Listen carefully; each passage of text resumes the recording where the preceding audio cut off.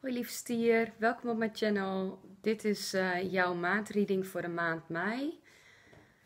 Ik heb het gevoel dat je je een beetje terugtrekt omdat je inzichten moet opdoen of ja, dat je wat afstand neemt van alles om bepaalde dingen te verwerken en ja, misschien te kijken hoe je nu verder wil.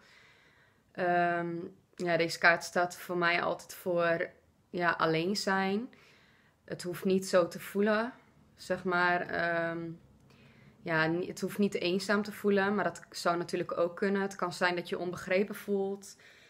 Uh, hij staat voor mij ook voor ja, wijsheid, of wijsheid opdoen of kennis opdoen, zodat je misschien daar uiteindelijk anderen mee kan helpen. Het voelt alsof je vastzit. En dat lijkt misschien ook zo alsof het niet vooruit gaat. Alleen er is wel een, komt straks een ommekeer omdat je anders gaat denken. En dan ga je ook stappen ondernemen. Kijk, deze gaat niet zo snel. Het lijkt wel alsof hij stilstaat. Maar zo krijg je wel een beetje die solide basis, zeg maar, waar je op verder kan bouwen. Verder kan een thema zijn dat je te veel bezighoudt met anderen of met de mening van anderen. Of dat je bang bent om mensen toe te laten of dichtbij te laten komen. Um, zie hier zeg maar aan het zwaard, klaar om in actie te komen. Hij kan ook staan voor ja, je grenzen aangeven. En ja, dat zou een thema kunnen zijn. Dus let erop dat je dat ja, op de juiste manier doet. En ehm, niet vanuit een angst om gekwetst te worden of aangevallen te worden. Maar dat je gewoon duidelijk aangeeft wat wel en niet prettig voelt voor jou.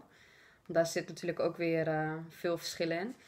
Het kan te maken hebben met ja, je gezin of een relatie of ja, mm, hechte vriendschappen waarin je meer je grens gaat aangeven of waarin je te veel bezig bent met hun mening.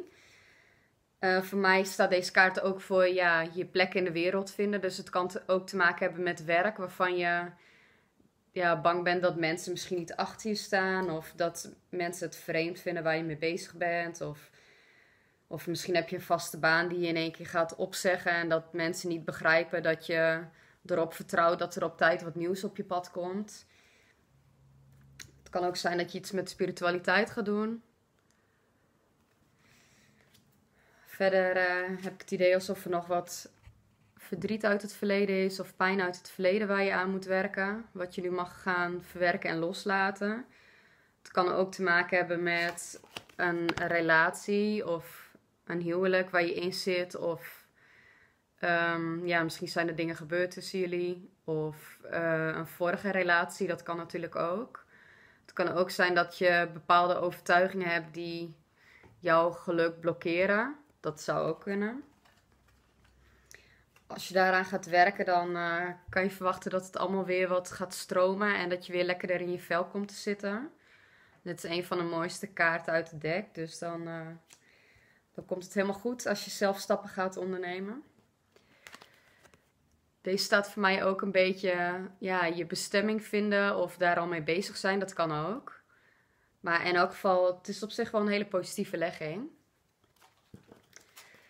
Er is nog wel wat twijfel. Ook een beetje een conflict tussen je gevoel en je verstand. En je sluit jezelf misschien soms wat te veel af. Of ja, zoals je ziet, deze vrouw draagt een blinddoek, dus misschien wil je bepaalde dingen ook niet zien of sluit je ogen voor de waarheid of zo. Dat zou kunnen.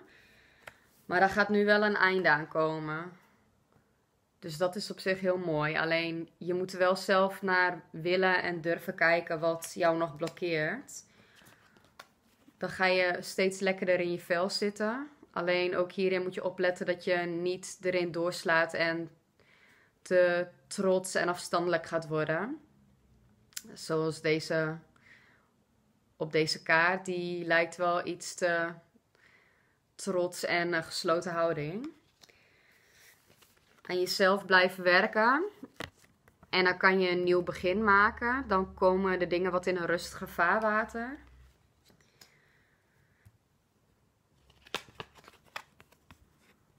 Dingen uit het verleden loslaten. En ook proberen niet meer sceptisch of achterdochtig terug te kijken. Ga gewoon uit van het goede en verwacht niet dat het allemaal uh, ja, dat het niet voor jou weggelegd is, het geluk of zo. Je mag ook werken aan je eigen zelfliefde en jezelf wat meer op één zetten. En je moet vooral ook geduld hebben als je wel al weet welke kant je op wil, maar nog niet weet welke stap je moet zetten. Want er komt vanzelf een moment dat je weet hoe je het wil aanpakken. Het is gewoon belangrijk voor jou om nu geduld te hebben. En ja, wat deze kaart eigenlijk ook zegt. Gewoon, het is niet erg om je even terug te trekken. En deze kaart vind ik ook staan voor. Ja, gewoon blijf zitten waar je zit. Dus je hoeft wat dat betreft niet echt concrete stappen te zetten. Als je maar wel gaat kijken naar de dingen die jou misschien nog blokkeren. Ik ben heel benieuwd of jullie het herkennen. Laat vooral een reactie achter. Je kan, mijn, uh, je kan me ook volgen. Dan kan je op abonneren drukken. En wil je een e-mail ontvangen, dan kan je op het belletje drukken. Tot de volgende keer.